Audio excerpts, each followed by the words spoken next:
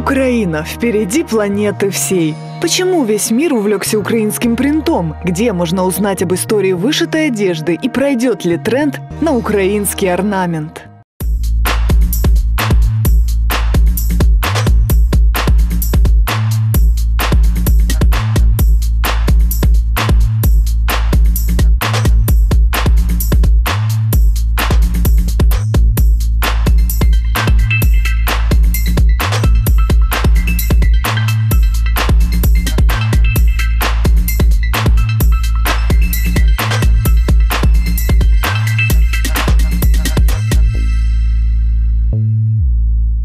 Этнотема всегда была популярна в мире fashion. Любая национальная одежда привлекает внимание дизайнеров. От чего не вдохновляться красками мексиканской одежды или драконами китайского костюма? И вот пришло время украинской традиционной одежды. Последние несколько лет подиум пестрит геометрическим орнаментом украинской вышиванки. Наши же дизайнеры стараются подливать масло в огонь и представляют миру все новые и новые идеи. Мода, она не возникает сама по себе, на нее влияет ряд обстоятельств, и политика в том числе. И вот эти э, политическая ситуация, которая несколько лет назад случилась у нас в стране, она не могла не отразиться и на моде в том числе. Очень многие бренды в 2014-2015 году начали выпускать одежду с украинским принтом. Бум происходит одной, второй, третьей культуры, потому что э, кто-то ввел и удачно ввел, да, то есть в коллекцию, и понравилось. В 2015 году знаменитый американский глянец возвел украинскую вышиванку в самый популярный тренд сезона – но путь украинской традиционной одежды на мировом подиуме начался еще задолго до этого. Я считаю, что эта тема вечная, она периодически будет э, возникать. Это то же самое, как испанская, мексиканская тема в одежде. Украина славится своей символикой, в том числе орнаментом и техникой. Многие дизайнеры говорят, что вдохновлялись на создание своих этноколлекций в украинских музеях. Я решил все-таки вернуться в свою культуру, вернуться в ту степень, откуда я пришел. Черпались главные идеи э, с музея в Лавре прикладного мастерства. Там, э, в принципе, очень, очень много patterns и shapes, которые я нашел и которые меня очень много вдохновили э, на будущую вот эту коллекцию. Там я сделал первый дизайн. Но не только украинские мастера знают, где можно почерпнуть идеи. В нашем музее в свое время был известный французский дизайнер Жан-Поль Готье, и он вдохновлялся нашей коллекцией – Вместо 15 минут, которые он запланировал провести у нас, он был практически час и был ошеломлен самим ансамблем украинской традиционной одежды, в том числе вышивкой. И пообещал, когда вернется во Францию, создаст коллекцию, посвященную украинскому костюму. И все-таки создал коллекцию, которую назвал «Украина», где преобладал красный цвет, яркая декоративность. В 2005 году Жан-Поль Готье удивляет fashion-индустрию своей украинской коллекцией. Известный кутюрье так вдохновился путешествием по Украине, что создал не просто несколько нарядов с украинским орнаментом, а эффектную коллекцию, показ которой состоялся в пространстве, приуроченном украинским городам и весям. Дальше еще интересней. Неповторимый Джон Гальяна делает в 2008 году нечто уникальное. Создает коллекцию с украинскими мотивами, разукрашивает лица моделей так, что все как одна становятся похожими на гоголевскую панночку.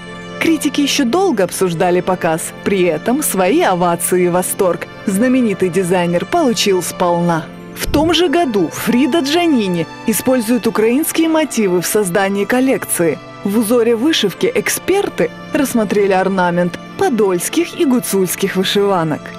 И нельзя не вспомнить показ коллекции Валентина Гаравани – Маэстро моды использовал украинскую вышивку в платьях, рубашках и даже в верхней одежде. Уверенно можно утверждать, что украинская вышивка покорила мир, и теперь многие известные бренды используют наш орнамент для украшения своих коллекций.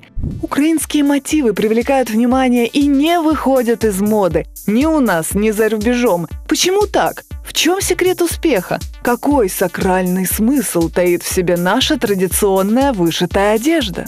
В первую очередь рубашка привлекает тем, что она является своеобразным кодом нации, поскольку в ней закодированы древние символы, древняя мифология украинского народа. В первую очередь это были символы-обереги, которые должны защищать целые семьи от влияния разных негативных явлений. Солярные знаки, как символ солнца, символ счастья, ромбовидные фигуры, крючки. Одежда разных регионов несет в себе собственное послание. К примеру, символика Полтавского края будет кардинально отличаться от западных областей. И не только орнамент, но и цвет вышивки, материал одежды – все это обладает региональной уникальностью. Полтавская традиционная одежда – это зачастую вышивка белым по белому. А на Тернопольщине могли позволить себе расшить рукава бисером – там любили более яркие оттенки. На орнамент также влияло имущественное или социальное положение его владелицы.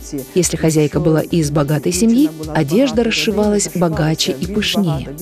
Украинская традиционная одежда – это сложнейшая работа. Мало иметь иголку и нитки под руками. Нужно понимать, что ими делать. Во-первых, вышивались рукава рубашек, потому что они всегда были открытыми, поскольку плечевой одеждой была керсетка. Еще один важный вопрос. Когда же уместно надеть украинский вышитый костюм современному человеку? Это такой э, вариант одежды, когда не знаешь, что одеть, даже не обязательно это должен быть какой-то э, праздник национальный или тематическая вечеринка. Например, э, вы находитесь на отдыхе и какой-то вечерний выход – очень уместно одеть вышиванку, это красиво будет выглядеть. Это может быть даже коктейльное мероприятие уместно. При этом надо отметить, что само слово «вышиванка» – это уже современная интерпретация. Вышиванка – это уже такое привнесенное, современное, укоротить, чтобы не говорить «вышитая рубашка». Мир оценил красоту украинской вышивки, ценят ее и современные украинские дизайнеры – к этномотивам обращаются Вита Кин, Ксения Шнайдер, Юлия Магдыч, Лилия Микитяк, Алена Сереброва и многие другие украинские кутюрье. Я лично обращаюсь к этому, потому что там очень много вдохновения. Э, путешествуя по разным странам, я оттуда привожу разные культуры. Но украинская культура, она очень многогранная и очень интересно с ней работать. В этой коллекции у меня сон трава. То есть я могу сейчас очень много рассказывать. Это декоративная сон трава, она переработанная, э, ее не узнаешь, да, но видно, вот если присмотреться к этому рисунку, то в принципе, истоки сон травы, вот чашечка, в ней читают. Этно – это не значит только вышивка. Украинские символы есть повсюду, и дизайнеры стараются показать миру и вернуть популярность целым культурам, таким как, например, Трипольская. Коллекция «Знаки» по мотивам трипольской культуры. Дизайнерские фантазии не имеют границ, поэтому трендом становится даже петриковская роспись. Яркие, пестрые узоры, которые стали достоянием культурного наследия человечества, по мнению ЮНЕСКО, не могут не заинтересовать украинских кутюрье. И кто знает, возможно, Петриковка станет следующим этапом в модной тенденции на украинский стайл. 24 августа э, бренд Сереброва э, сделал показ в формате Open Air на улице Бассейной в центре Киева. Идея коллекции э, была это вот интересная переработка этно, этно-орнамента, который применялся э, при росписи домов, потому что Петриковская роспись, она никогда не была в костюме. Это прикладное декоративное искусство. Но не вышивка единой. Предметы обихода в руках дизайнера – это тоже колоссальное вдохновение на создание уникальной коллекции. Но культура украинская – это же не только вышиванка, это и роспись разная, это и дома, и двери, это разные косяки, и штукатурка, которая потрескалась на старых домах. Это все тоже про Украину. Я вам покажу пальто. Там мы использовали элементы городецкой глади. Когда профессионалы по вышивке посмотрели, сказали «да».